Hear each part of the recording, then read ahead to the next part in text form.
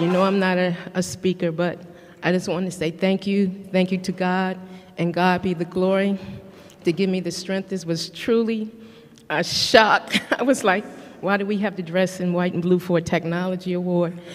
But he got me. But I want to thank everybody, all my colleagues, the students, and everybody I've worked with over the years, and my family who shocked me this weekend and wouldn't say a thing, but they surprised me also, and to Mr. Wilkins and to Father Patton for all the people who've been my support.